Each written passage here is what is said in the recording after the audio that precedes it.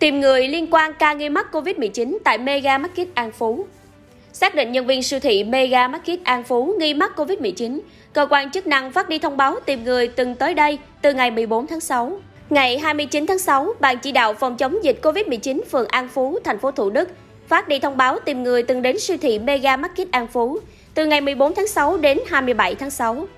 Theo nhà chức trách, ca nghi mắc COVID-19 là nhân viên tại đây và để nắm rõ khung thời gian có thể tiếp xúc với bệnh nhân này, người dân liên hệ theo số điện thoại trạm y tế phường 028 2253 7896.